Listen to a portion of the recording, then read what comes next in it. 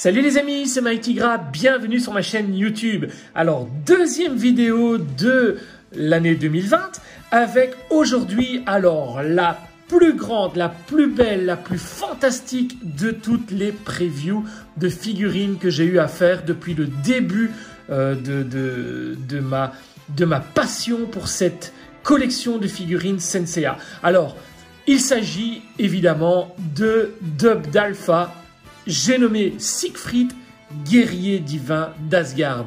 Alors, une figurine que j'attendais vraiment avec impatience, une figurine qui est attendue par l'intégralité de la communauté Senseiya, le chapitre Asgard, le plus beau, le plus fantastique, le plus merveilleux, le plus poétique et mélancolique de toute la série Senseiya, avec aujourd'hui la première figurine sortie dans la série EX. Alors, je ne vais pas vous faire languir plus longtemps, je lance le générique et on attaque directement le montage de cette figurine que j'attendais avec impatience. On y va, c'est maintenant que ça se passe les amis. Générique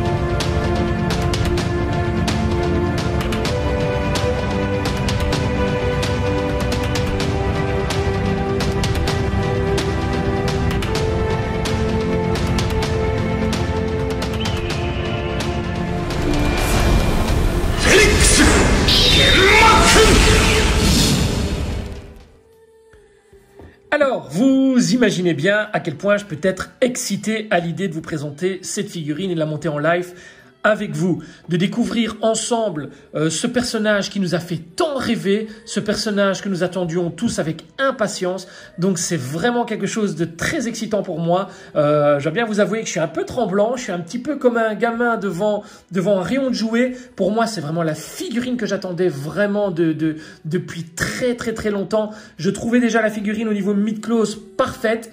Euh, ben là, on est sur quelque chose de vachement différent, de vachement plus abouti. Euh, on va découvrir ensemble euh, ce personnage. Pas de langue de bois, les défauts seront, euh, s'il y en a, bien sûr évoqués. c'est pas parce que cette figurine est ma favorite dans, tout, dans toute la gamme Sensei Mid Close que je vais forcément aller dans son sens et lui trouver tous les avantages et toutes les qualité euh, voilà, dont elle peut euh, faire part. S'il y a des défauts, euh, ils seront soulignés, bien entendu. Donc, je propose directement d'attaquer la découverte de la box.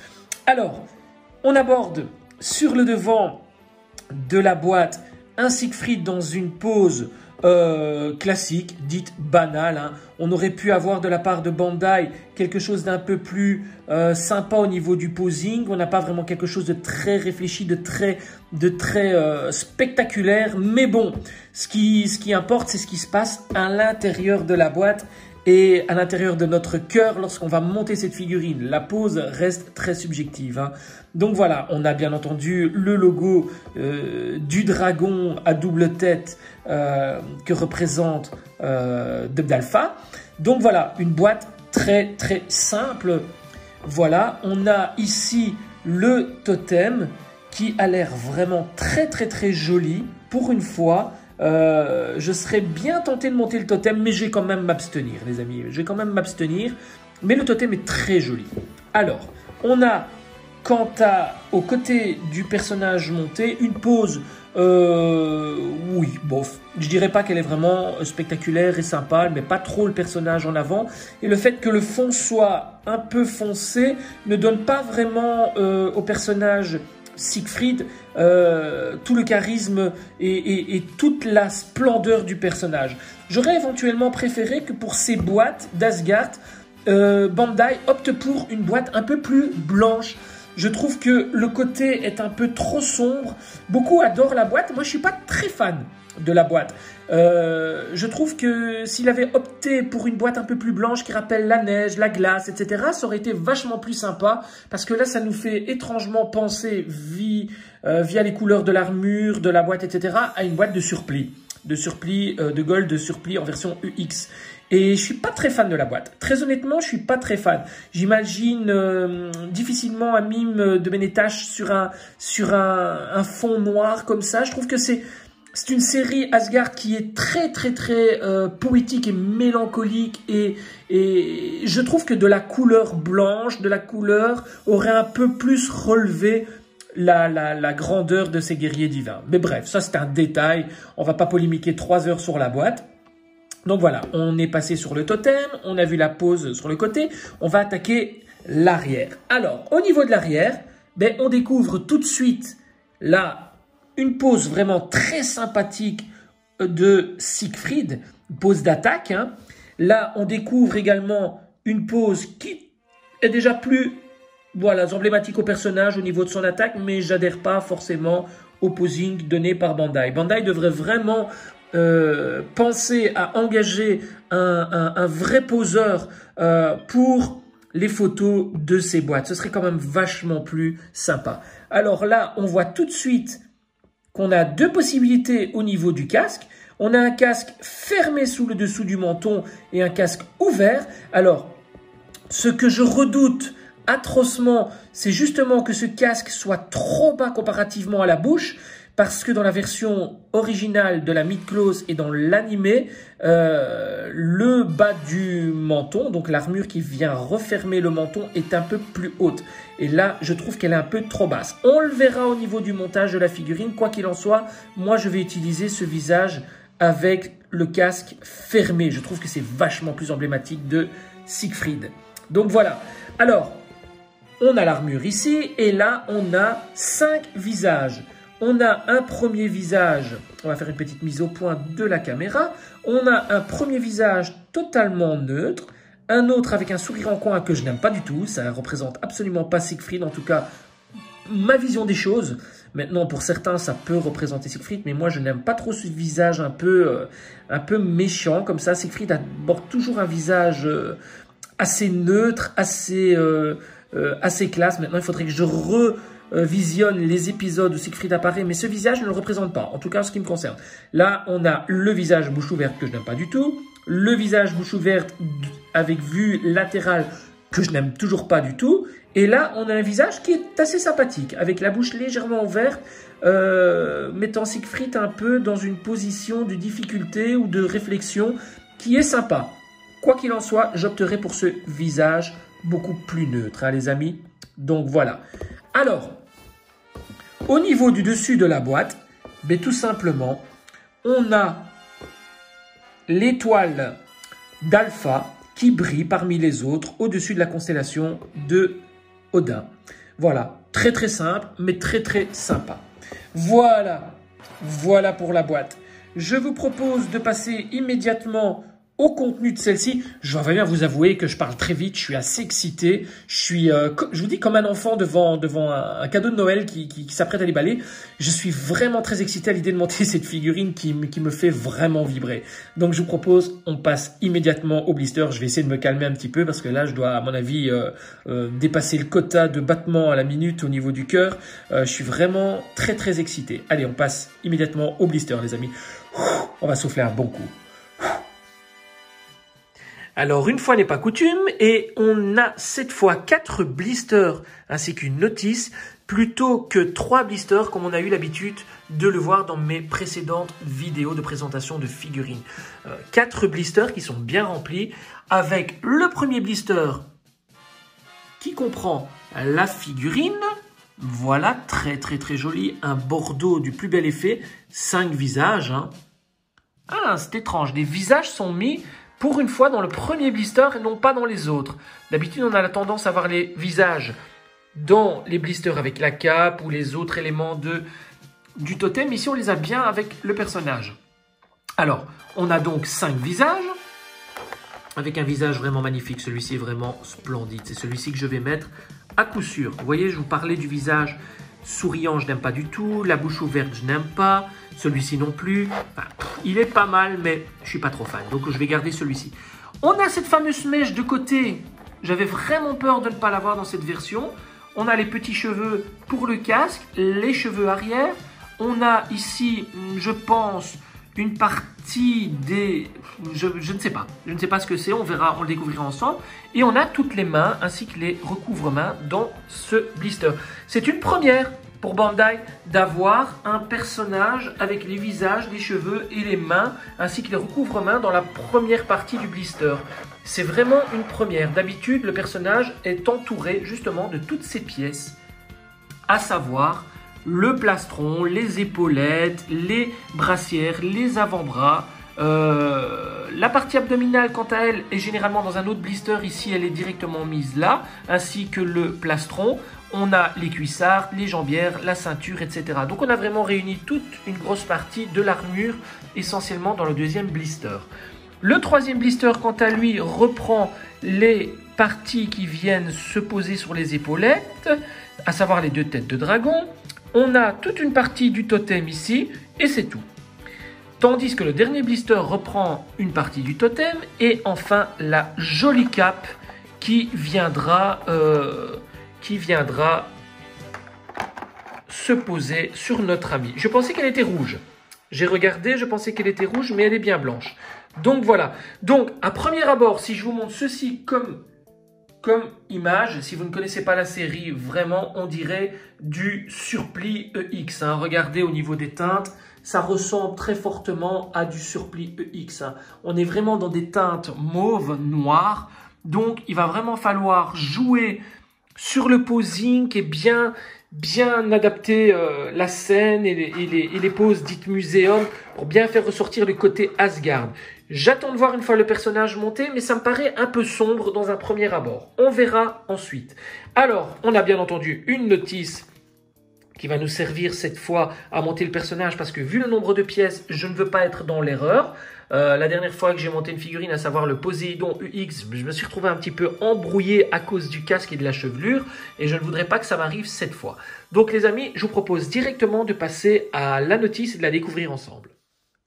Alors cette notice, nous allons l'ouvrir et la découvrir ensemble. La première partie nous montre toutes les pièces. Alors, les petites pièces que je vous ai montrées dans le, euh, je pense, c'est dans le premier blister au-dessus des mains. Mais en fait, c'était tout simplement les recouvre-épaules. Donc, cette petite partie qui vient sur l'épaule. Comme ça, on le sait déjà. Voilà. Alors, on jette un œil sur ce qu'il y a. Voilà. C'est pas mal du tout. La ceinture, ben, on a toujours ce petit clips bien embêtant qui va revenir recouvrir la ceinture. Ça, c'est à faire très attention. Voilà. Je découvre en même temps que vous, les amis. Hein. Je suis un peu lent parce que je découvre en même temps que vous et j'ai pas envie de me louper sur cette figurine. Hein. Voilà, alors le casque a priori est en plusieurs parties, oui, tout à fait. Donc on va découvrir ça tous ensemble. Donc on peut mettre soit la cape, soit la partie arrière euh, du plastron qui permet d'avoir ces fameux deux ailes euh, qui, sont, repliées sur elles-mêmes. Hein, voilà. Donc a priori pour le personnage, rien de bien compliqué. Et on verra. Hein. Ça c'est pour tout ce qui est totem. Ainsi qu'à l'arrière, j'imagine, oui, à l'arrière. Attendez, on va refermer comme ceci. Voilà. Pour ceux que ça intéresse, je préfère vous le montrer, comme ça vous faites un arrêt sur image et vous pouvez découvrir le totem et voir un petit peu de quoi il s'agit. Hein. Regardez, je vous remontre encore une fois pour ceux qui ont besoin du totem. Voilà, moi je vous propose directement de passer au personnage qui me tarde de tenir dans mes mains. Donc c'est tout de suite, on balance le personnage. Et ça y est, je l'ai enfin en main. J'ai ce fameux Siegfried dans mes mains et je suis super content. Waouh, quelle rigidité les amis, quelle rigidité sur ce personnage. Waouh, les bras c'est c'est monstrueux, c'est il est d'une dureté incroyable. Alors, au niveau du statisme, au niveau du sol, on va voir si le personnage tient bien. Alors, on peut voir au niveau des pieds qu'on peut, voilà, il faut directement les remettre comme ceci. Hein. Regardez, ils étaient mis comme ça dans la boîte, on va les mettre droit directement. Ce qui sera quand même vachement plus facile pour poser le personnage. Ouais, et le personnage tient facilement, on n'a pas trop de soucis à se faire quant au posing du personnage, vu qu'il est quand même assez assez fixe, donc ça devrait aller, voilà, ça devrait aller. Maintenant, on va regarder la rigidité, les jambes, ça fonctionne, les pieds également. Les bras, bien entendu. Voilà, vous voyez, c'est assez dur. Les mains, pareil. toujours embêtant d'avoir un bras qui a tendance à retomber ou à se replier de lui-même. Vous ne pouvez pas lui mettre une pose latérale et c'est très embêtant. Au niveau des épaules, ça fonctionne bien également. La tête, parfait. Et le torse se relève. Donc c'est un sans faute pour la rigidité de ce personnage. Regardez-moi ça, ce visage. Alors, gros, gros, gros, mea culpa.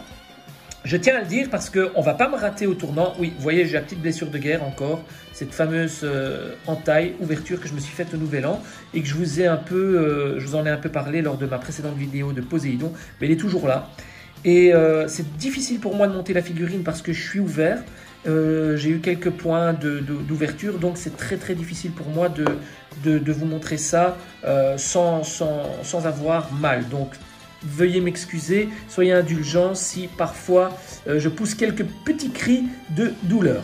Voilà, au niveau du visage, je vous disais un gros mea culpa de ma part parce que ce visage est tout simplement grandiose et magnifique. Alors, j'avais créé un post sur Facebook en critiquant ce visage, en disant oui, il n'est pas fidèle au prototype, il n'est pas fidèle. Oui, c'est vrai il n'est pas tout à fait fidèle au premier prototype sorti par Bandai lors de l'annonce de cette figurine. Les cheveux sont un petit peu pâte à modeler, il faut l'avouer quand même, mais le visage est quand même assez joli. On aurait pu avoir mieux. C'est vrai qu'on aurait pu avoir mieux. Euh, si on se base sur le premier prototype de Bandai, on aurait pu avoir mieux. Mais c'est déjà très très bien et on va s'en contenter. Donc gros mea culpa si j'ai pu, euh, de par mes propos, critiquer cette figurine et dire que le visage était totalement raté, on va dire qu'il est raté, mais pas totalement. En tout cas, non, pas raté, non. Non, non, il n'est pas raté. Il n'est pas fidèle au premier prototype sorti par Bandai. On va plutôt la dire comme ça, le dire comme ça. Voilà. Donc, on va passer maintenant directement au montage, les amis. Regardez-moi ça, ce visage, ce regard. Voilà, le visage un peu vers le bas comme ceci, ça lui donne vraiment tout, toute la force de Siegfried, cette grandeur. Waouh, je suis vraiment comme un gosse. Allez, on passe au montage, les amis. Alors, qui dit montage dit qu'on retire les premières parties du personnage, les pieds, gauche-droite, vous le savez, comme ça on ne se trompe pas de sens des pieds. On retire les mains en maintenant l'avant du bras et en tournant légèrement pour ne pas retirer cette petite boule, ce serait embêtant de l'avoir cassée.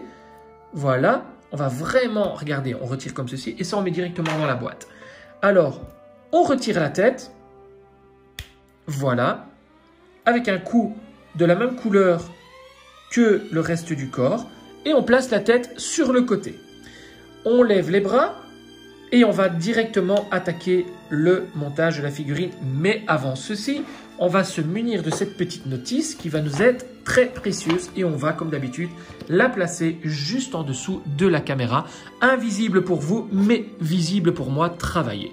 Alors, on va d'abord récupérer la première cuissarde que je vais vous montrer.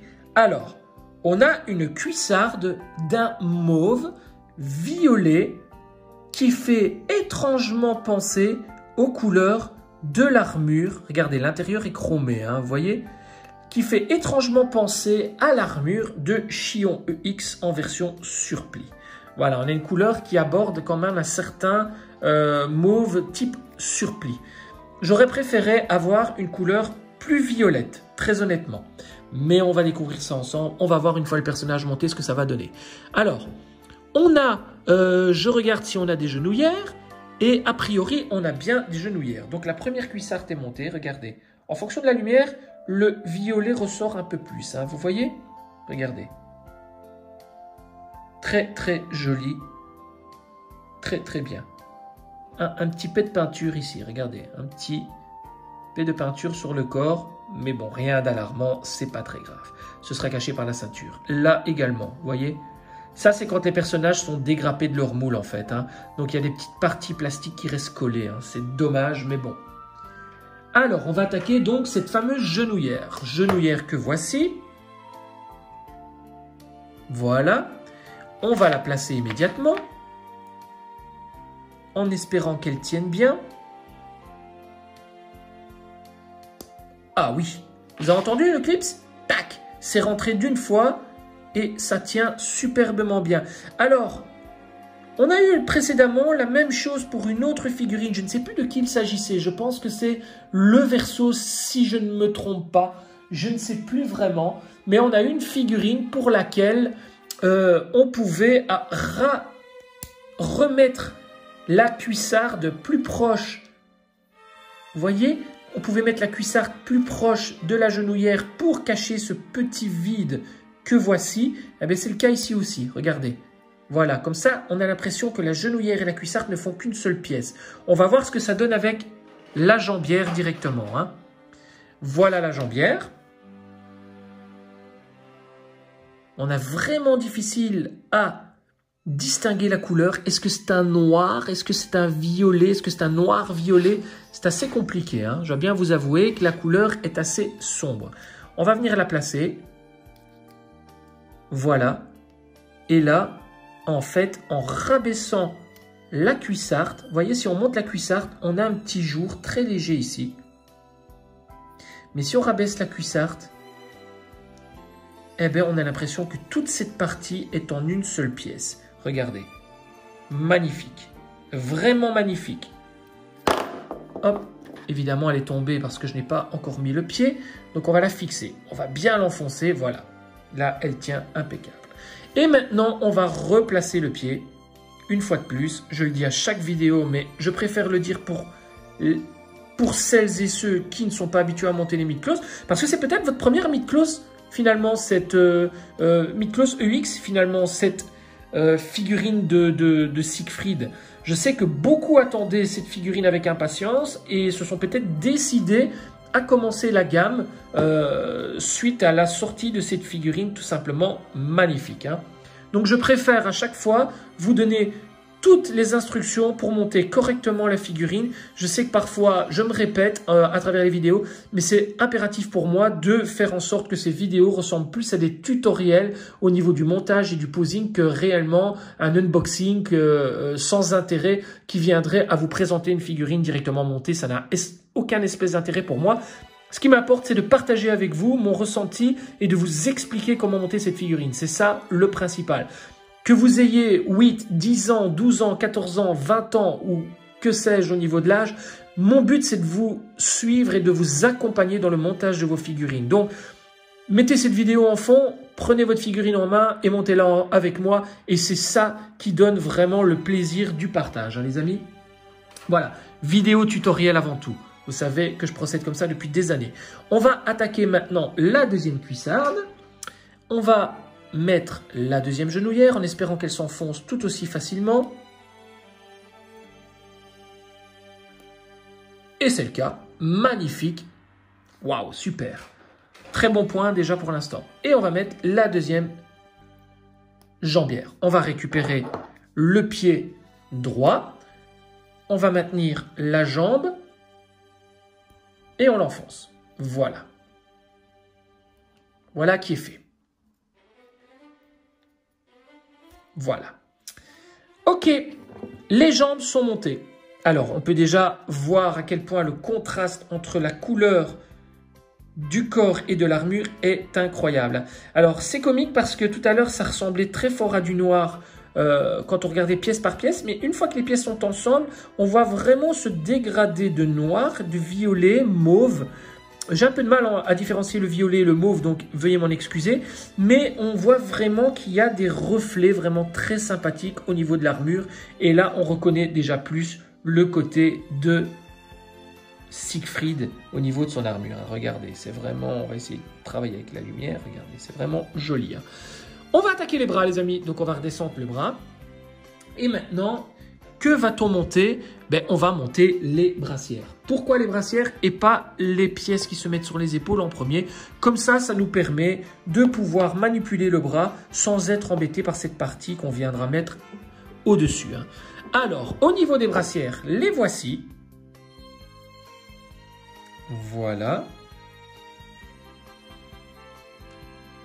Une couleur du plus bel effet également, avec des reflets incroyables et on va venir la placer.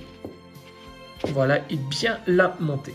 On va directement attaquer l'avant-bras que voici.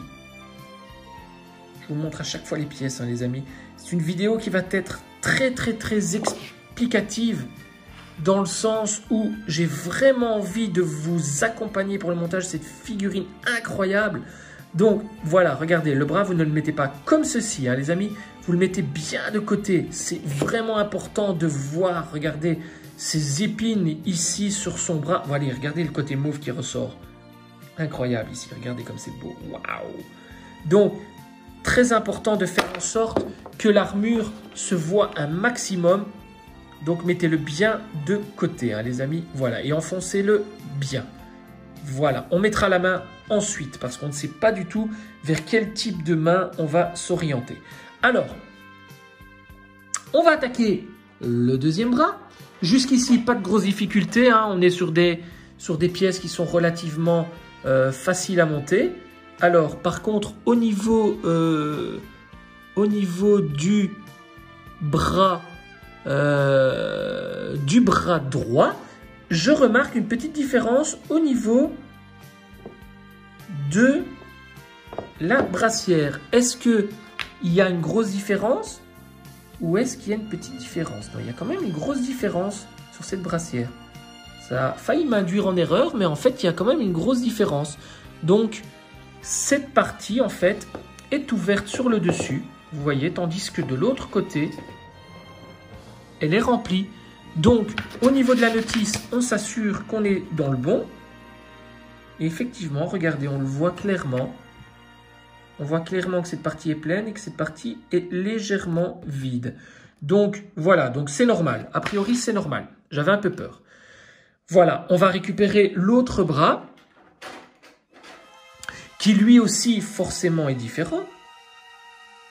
Et on va le monter tout en maintenant le bras. Et voilà, on a déjà les bras de montée. Oh, oh, oh, je suis très excité. Alors, au niveau des mains, que va-t-on faire au niveau des mains, les amis? Dans quel sens allons-nous placer ce personnage? Alors, pour ce faire, nous allons, pour une fois, récupérer la boîte.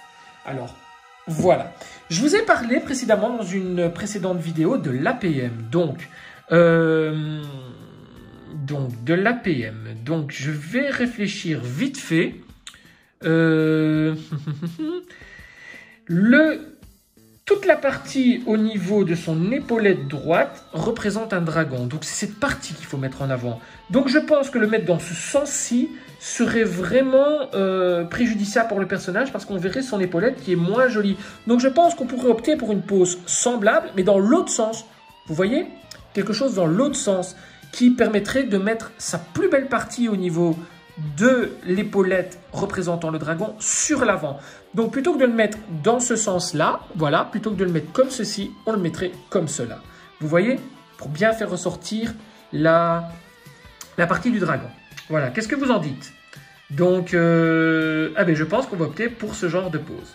Donc dans un premier temps, on va lui mettre une main ouverte ici et on va lui mettre une main fermée ici. On verra pour le posing par la suite. On va attaquer ça alors les amis. Donc nous attaquons immédiatement ces petites mains avec la première main ici que j'ai choisie de type ouverte pour lui mettre bien sur la taille, n'est-ce pas? Et on va directement mettre le recouvre-main sur aïe, ce recouvre-main qui a sauté. On va le mettre, voilà, comme ceci. Et on va le placer immédiatement sur son bras, tout en maintenant le bras, bien sûr, et en faisant tourner légèrement pour bien rentrer la main à fond.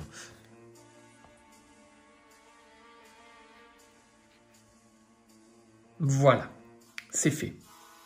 Maintenant, on va prendre l'autre main, point fermé cette fois, et on va également lui mettre cette petite pièce dessus directement.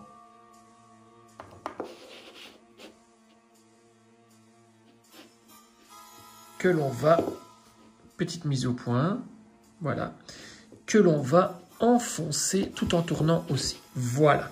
Donc le but, en fait, c'est tout simplement de partir sur une pause qui donnerait plus ou moins ceci, en fait. Je vais vous montrer directement. On partirait sur quelque chose. Attendez, on va vous montrer sans l'armure. Voilà, on partirait sur... On va essayer de le modifier en live. Quelque chose dans ce style-ci.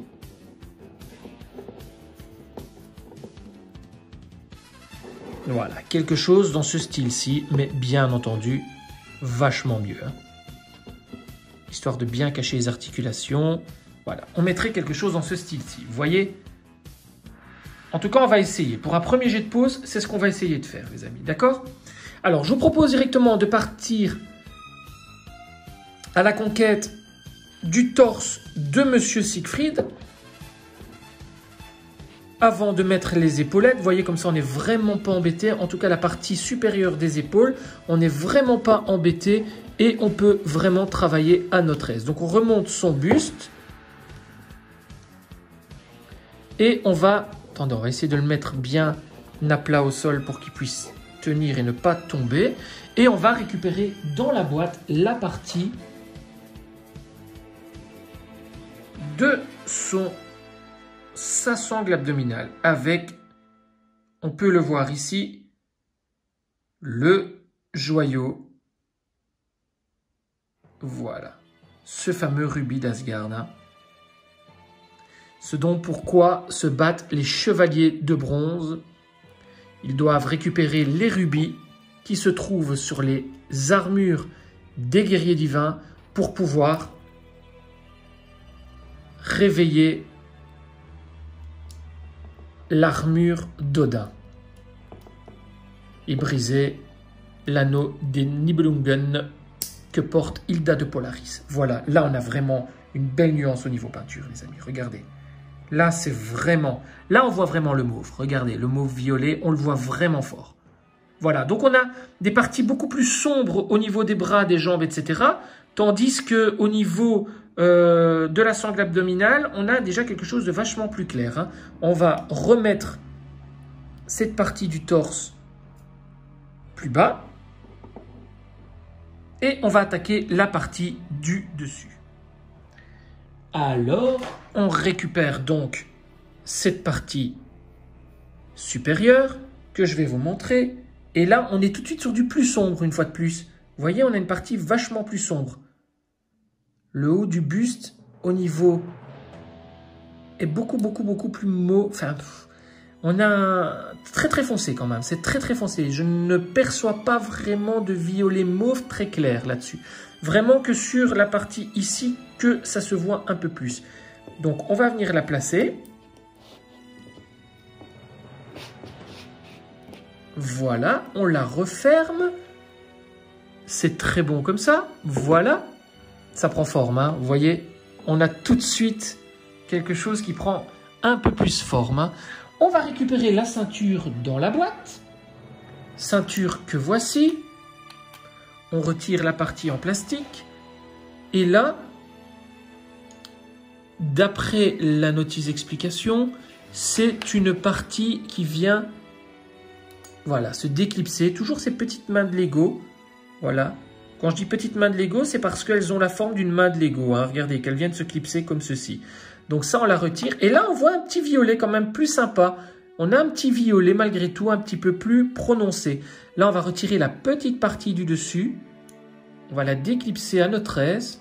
Voilà, on va bien la mettre à plat sur le sol dans le bon sens pour avoir facile à la remettre par la suite. On va écarter doucement la ceinture parce qu'elles sont devenues très fragiles depuis un petit moment chez Bandai. Au niveau des attaches que voici, vous voyez, ça a tendance à casser facilement. Donc allons-y vraiment avec précaution. On va venir mettre la ceinture à l'arrière comme à l'habitude. Voilà. Logiquement, si votre ceinture est bien mise, elle doit tenir toute seule. Voilà. Pouvez la mettre le personnage à l'horizontale, votre ceinture ne tiendra pas si elle est bien enfoncée. C'est quand même vachement important de bien faire en sorte que la ceinture tienne correctement. Hein. Voilà. Il est arrivé par le passé, sur certaines figurines, de monter des ceintures qui bougent de haut en bas parce que la petite attache ne rentrait pas correctement dans le bas du dos. Hein. Maintenant, on va remettre cette petite pièce qu'on vient récupérer dans le bon sens. Et là, vous allez être un peu embêté parce que vous avez l'anneau euh, l'anneau, pardon, le saphir d'Odin, ici, qui a tendance à vous gêner pour remettre cette pièce. Alors, Je vais vous donner une petite astuce pour le faire que je découvre à l'instant parce que vous voyez, elle dépasse légèrement, donc ça risque d'être embêtant. Vous tournez le buste du personnage. On va essayer comme ceci. Hein. Vous tournez le buste du personnage et on va essayer de la mettre de cette manière.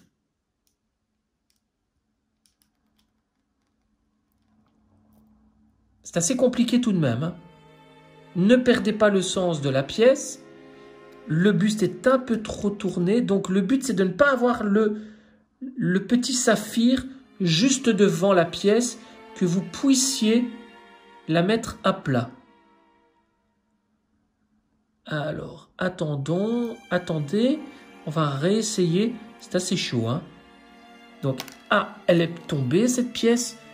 Donc, euh, mais peu importe le sens, finalement, elle a le même sens des deux côtés, la pièce. Donc, vous pouvez la récupérer aisément et la mettre dans n'importe quel sens. Mais c'est assez délicat à mettre, waouh.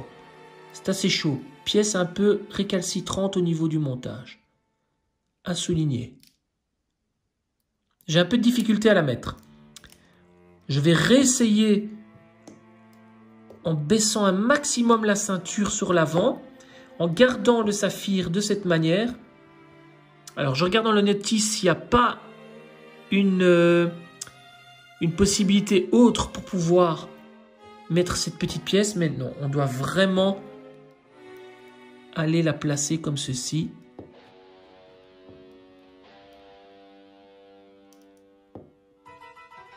On y est presque. Voilà, elle est placée. C'est faisable avec le saphir, les amis. C'est faisable parce que si vous le mettez de côté, ça va être très difficile de pouvoir la placer. Laissez le saphir, posez la figurine et mettez la pièce vraiment très doucement. Si vous êtes des chers monsieur comme je le suis et que vous n'avez pas d'ongles, ce qui est mon cas, n'hésitez pas à demander à votre cher et tendre de vous aider à tout simplement, à l'aide de son ongle, venir clipser cette pièce. Généralement, elles sont beaucoup plus habiles de leurs ongles que nous. Donc, n'hésitez pas à leur demander, ça leur fera plaisir accessoirement. Elles se sentiront utiles dans le montage de vos figurines et vous feront ce plaisir. Voilà, au niveau de la ceinture, donc on va récupérer la partie avec cette petite main de Lego qu'on va venir mettre de face, cette fois, et enfoncer. Voilà qui est fait. Je vais être honnête avec vous, cette petite partie en plastique ne se voit pas tellement. Si vous oubliez de la mettre ou ne la mettez pas volontairement, ce n'est pas très grave, elle ne se verra pas en dessous de la ceinture. Cette partie permettant juste de refermer la ceinture sur elle-même, donc elle n'a pas vraiment d'utilité si la ceinture est bien fermée.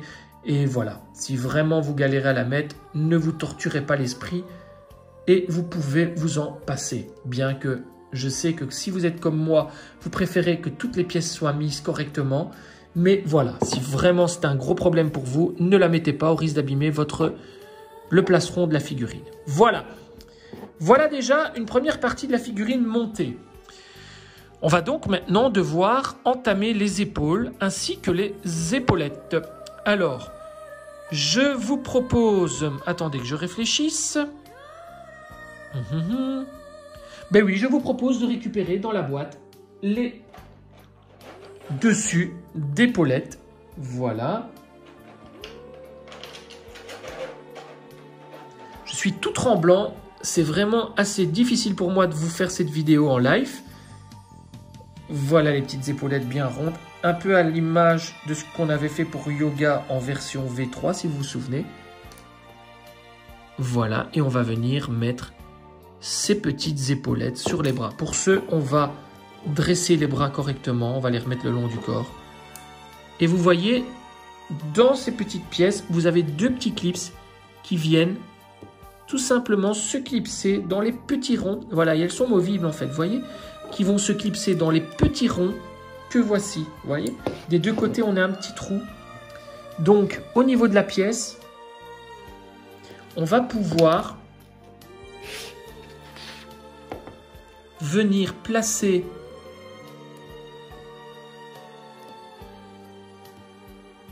Voilà.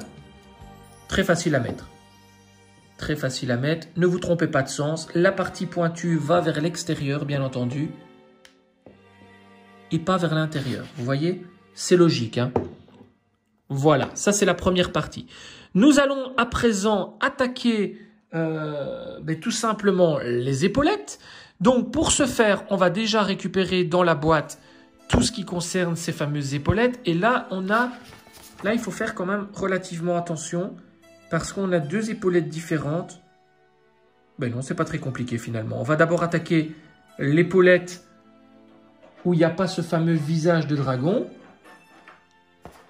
Épaulette que voici, qui quant à elle est très très mauve. Vous voyez, elle est très très mauve. Et quand on regarde le personnage comme ça, une fois que toutes les pièces sont montées, on a vraiment ce contraste entre le noir que je vous parlais tout à l'heure et le violet qui se fait beaucoup plus ressentir à présent. Regardez. Et la, couleur du corps donne vraiment un relief à l'armure. C'est superbe. Voilà. Cette épaulette, toujours avec cette petite main de Lego. Épaulette qui, par contre, n'est pas très movible. On n'a pas cette possibilité de vraiment bouger l'épaulette comme on le veut, à part, je pense, de d'arrière à l'avant, mais pas de haut en bas. Donc on va découvrir ça ensemble. On va remettre les attaches correctement et on va venir... Attendez que je regarde un petit peu ici. Euh, Eh bien non, on va de nouveau comme Poséidon. On n'a pas trop le choix. On va d'abord devoir mettre la cape ou la partie arrière du personnage parce que, vous voyez ici, le plastron n'est pas fermé. Donc on va d'abord devoir mettre la cape et puis seulement venir mettre les épaulettes. Vous voyez, sinon on va mettre les épaulettes et on va être gêné par la cape, par les épaulettes une fois qu'on va venir placer la cape. Donc on va récupérer la cape dans la boîte. Pourquoi? Parce que vous voyez, la cape en fait tient en une seule partie. Habituellement les capes, en fait on vient les enfoncer dans cette partie qui est déjà fermée. Mais ici c'est pas le cas en fait. On va devoir venir mettre la cape. Je vous propose de mettre la cape, hein, les amis. On va pas partir sur les ailes. Hein. Je vous propose de mettre la cape. Donc voilà. On doit, en toute logique des choses, entendre un clips. Voilà. On va retirer le plastique que j'ai oublié de retirer.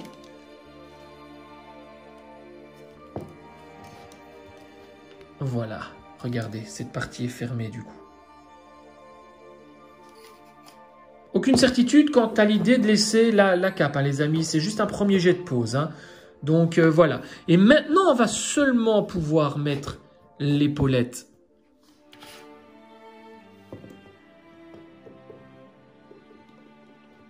Alors.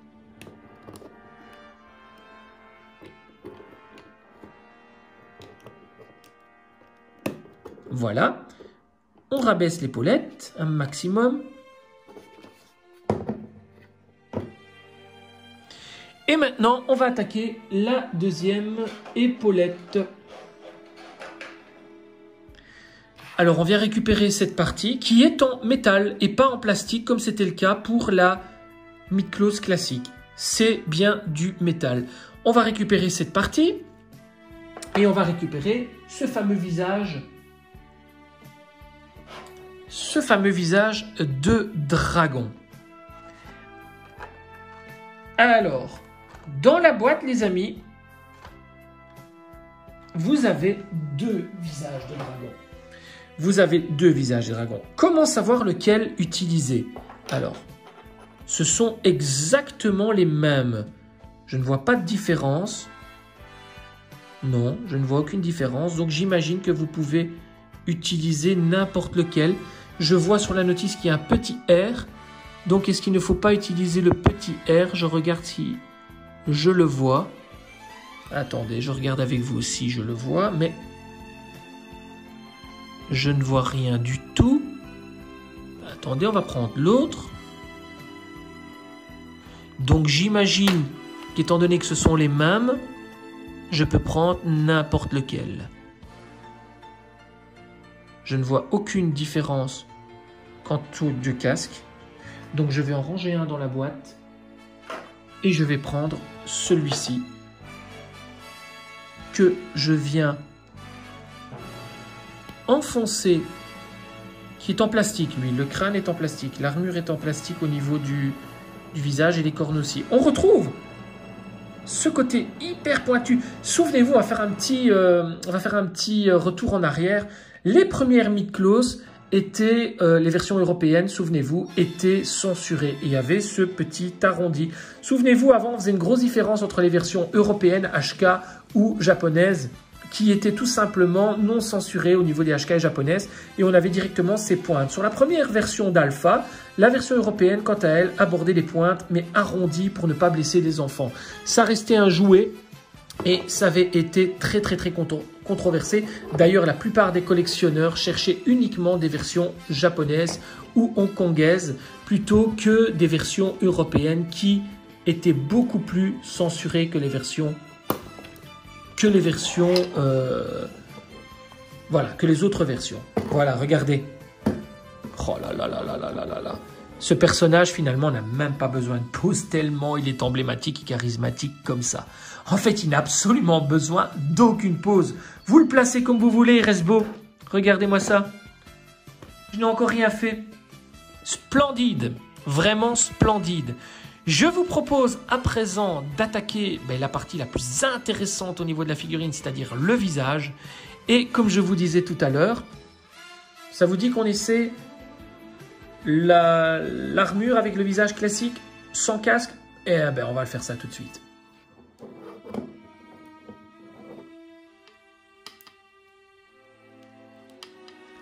On va, placer ce visage en live pour voir ce que... J'ai fait tomber l'épaulette, le casque, la tête est assez difficile à mettre.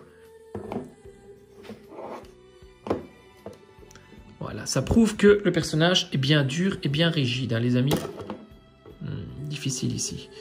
Faites attention au niveau des épaulettes elles sont relativement difficiles à mettre, les amis. Elles sont assez difficiles et j'ai bien peur que les pièces ne cassent facilement. Donc, quand vous tournez cette pièce, faites très attention de la mettre dans le bon axe parce que vous n'avez pas beaucoup de jeu pour pouvoir la travailler. Hein. Hmm, très difficile. Voilà, elle est rentrée. Ouf. Oh là là, Seigneur. Comme ce personnage est beau.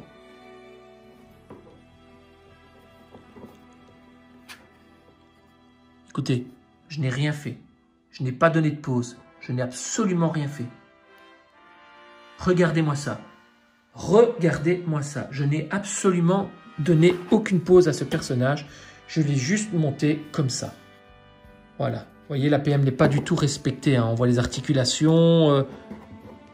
Voilà, c'est ah, vous voyez la petite partie au-dessus de l'épaulette est tombée. C'est bien ce que je redoutais. Donc c'est une petite partie pour laquelle il va vraiment falloir faire attention lorsque vous bougez votre personnage que cette pièce, voilà, ne tombe pas. Donc c'est une pièce qui est un peu récalcitrante dans le sens où dès que vous bougez votre épaulette, cette pièce peut bouger. Donc faites très attention à ça. Voilà, on va essayer de lui donner une petite pause. Alors, au niveau de la cape, on va la mettre tout de suite vers l'arrière pour pouvoir travailler les bras et ne pas être embêté. Et on va lui donner cette fameuse pause qu'on voulait lui donner tout à l'heure. Un premier jet de pause. Voilà.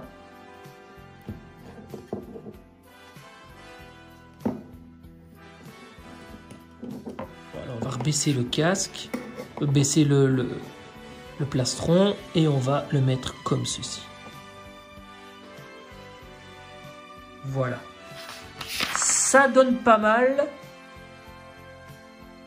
mais je ne suis pas trop fan. Très honnêtement, je ne suis pas trop fan.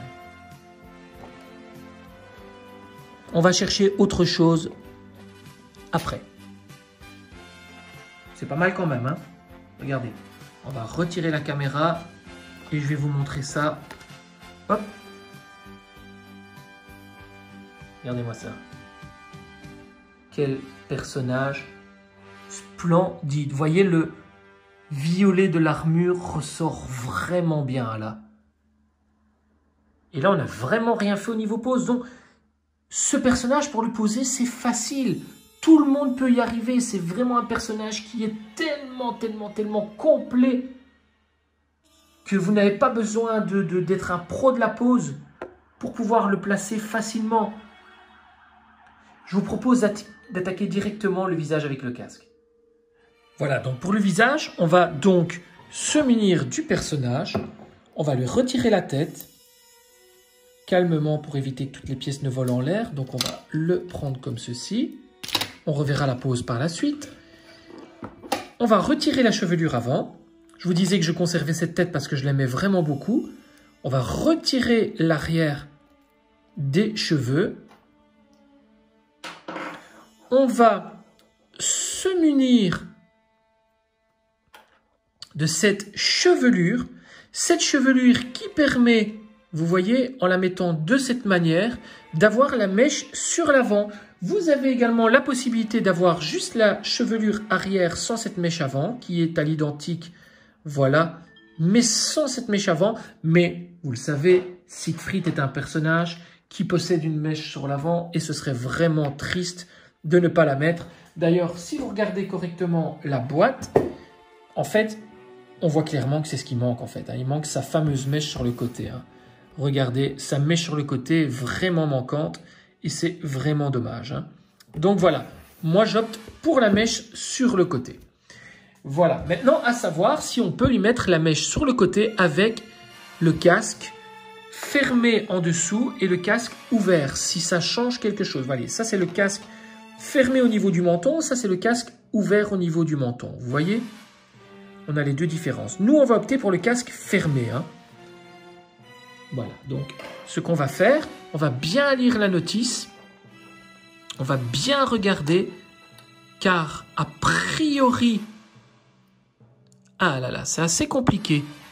Est-ce qu'il faut mettre d'abord les cheveux ou le casque fermé? Non, je pense qu'il faut d'abord mettre, d'abord prendre la pièce comme ceci, vous voyez, faut d'abord placer ceci.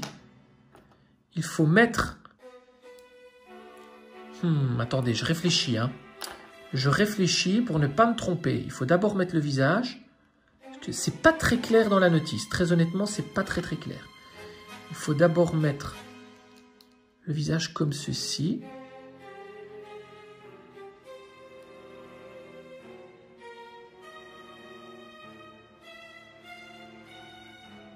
Hmm.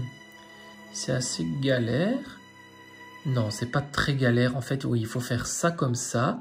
Il faut d'abord mettre, voilà, le casque sur le visage comme ça. J'espère que je ne me trompe pas. Il faut mettre ensuite les cheveux en dessous. Voilà. Faire en sorte que le casque ne gêne pas. Et ensuite, il faut venir placer le visage comme ceci sur la figurine. Voilà.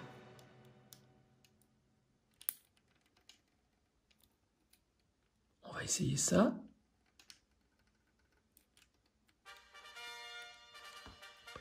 Alors, petit moment de solitude. Voilà. Je pense que c'est comme ça, les amis.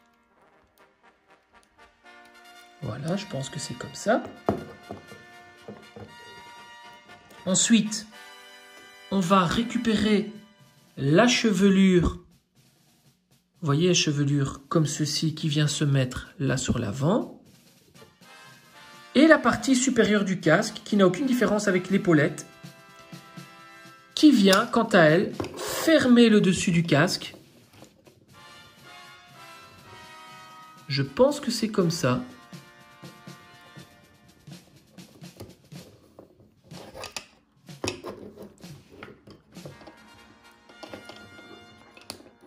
Voilà, je pense que c'est comme ça. Petit ajustement ou l'autre à faire. Vous voyez, le casque ne revient pas bien en dessous du menton.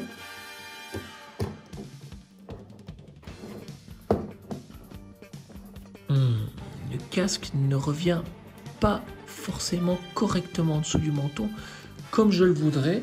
Je vais ajuster un peu les cheveux.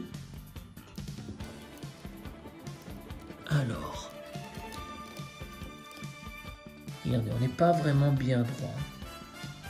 Donc je ne sais pas si j'ai bien fait au niveau du montage. En tout cas, le casque là, on a un petit jour. Donc à mon avis, je ne suis pas dans le bon. On voit déjà un peu ce que ça va donner. mais on n'est pas forcément dans le bon. Donc je vous propose, c'est que je coupe la caméra, que je jette un œil directement et que je revienne vers vous dans quelques secondes. Hein. Alors je vous retrouve pour vous expliquer un petit peu la méthode que j'utilise pour mettre ce fameux casque. En fait, vous prenez la tête avec le cou, vous la mettez comme ceci, vous la maintenez, vous maintenez la petite boule par le dessous comme ceci, vous voyez la petite boule ici, la petite tige, vous la maintenez, vous essayez de mettre ça bien droit, vous venez mettre les cheveux à l'horizontale comme ceci, c'est pas très très évident, hein. Voilà, attendez, on va faire une petite, voilà, mise au point. Vous le mettez le maximum bien mis. Et puis, tout en maintenant, vous venez à l'horizontale mettre la partie supérieure du casque, tout en appuyant sur l'arrière pour bien fermer. Et là, votre casque, en toute logique des choses, il est bien mis. Regardez. Là, vous avez petit ajustement à faire, voilà. Et là, normalement, votre casque est bien mis. D'accord? Je pense que c'est comme ça. Voilà, je pense. Vos cheveux, vous venez tout simplement les enfoncer dans cette petite boule, comme ceci. Voilà. Vous tenez le casque comme ceci, parce que si vous le tenez debout, les cheveux vont tomber. Vous le tenez à l'horizontale. Vous maintenez votre figurine comme ceci et vous venez enfoncer le tout d'une fois en espérant que ça tienne. A l'air d'avoir quelques difficultés à s'enfoncer correctement. Hein. L'épaisseur des cheveux, voilà, de la tige, voyez, ça donne, c'est un petit peu récalcitrant. Donc il faut essayer vraiment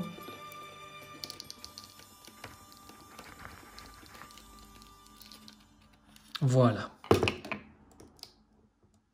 Et là, c'est enfoncé. Donc vous voyez, même en manipulant le personnage, en fait, on bouge vraiment fortement à la pose. Et la pose reste quand même très très très belle. Le personnage n'en perd en rien son charisme et, toute sa pose. Hein. Regardez. Regardez, il est vraiment posé du plus simple élément. On va servir de la cape. Vous voyez, pour le faire tenir, et regardez-moi ça. Regardez-moi ça, cette claque visuelle. Regardez-moi ça. Si ça, c'est pas fantastique, moi je n'y connais absolument rien. Ce personnage est magnifique.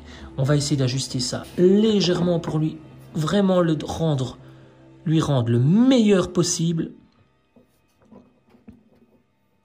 Voilà. un premier jet de pause. On va décrocher ceci et on va... Superbe. Alors, j'ai quelques petits ajustements, notamment au niveau du casque sur le côté à faire, etc. Moi, je vous propose, voilà, voyez, c'est un premier jet de pause comme ça, à la chaud. Et je vous propose, c'est de revenir tout de suite pour quelques pauses vraiment mieux travaillées. A tout de suite, les amis. Et voici une petite pause qui me fait totalement vibrer et qui est hyper représentatif de Siegfried. Une pause d'attaque vraiment superbe. Qui met vraiment toute la grandeur du guerrier divin en application. On se rejoint pour une seconde pause les amis? Nouveau jet de pause avec une pause plus relevée un personnage plus droit, moins en position d'attaque, plus en position défensive, mais très joli également. Regardez, on voit bien le sourire, le visage, pas le sourire, le visage de Siegfried sûr de lui et voyant en vidéo, ça se donne. Les couleurs, voilà, lorsque j'approche la caméra de la figurine, les couleurs sont vraiment incroyables. C'est vraiment superbe au niveau des nuances. Hein. Regardez, c'est vraiment superbe. Voilà. Je vais essayer de lui donner une pause vraiment définitive pour l'exposition en vitrine, les amis. Et voilà une pause qui me fait parfaitement plaisir. J'espère qu'en la découvrant, vous prenez le même plaisir que moi. Une pause muséum, une pause vraiment très classe. qui met tous les côtés les plus jolis de ce Siegfried en version EX en avant.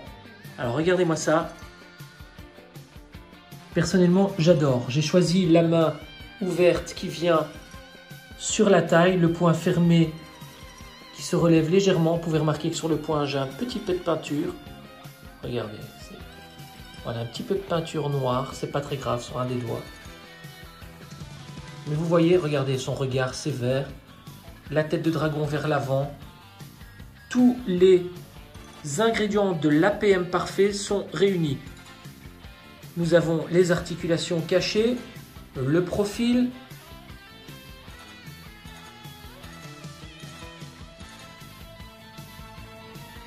voilà.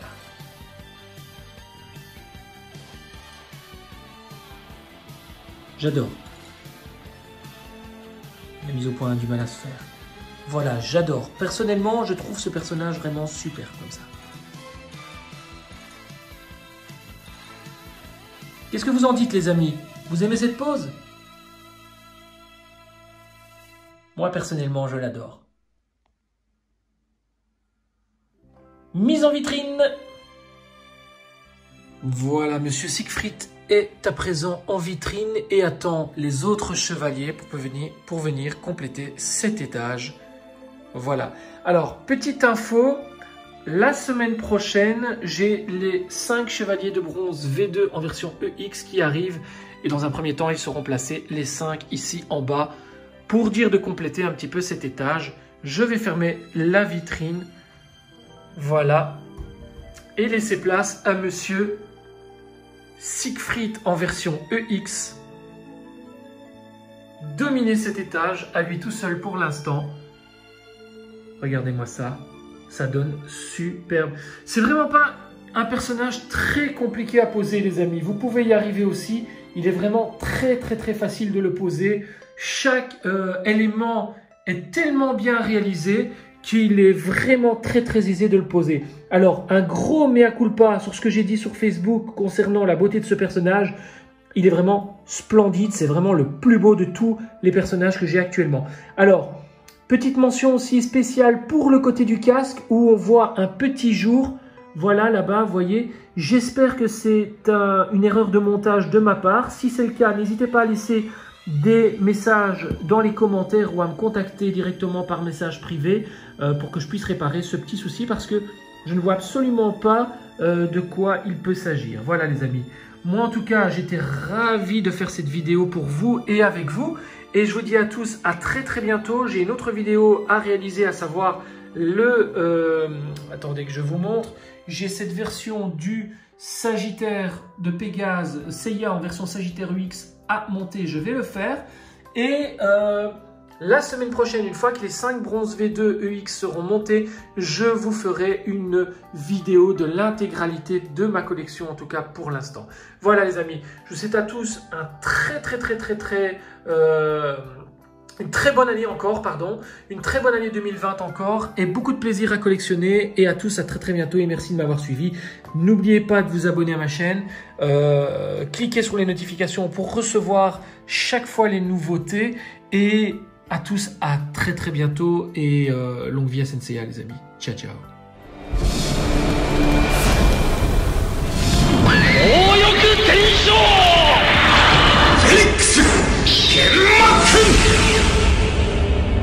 どうだ地獄を見た感想は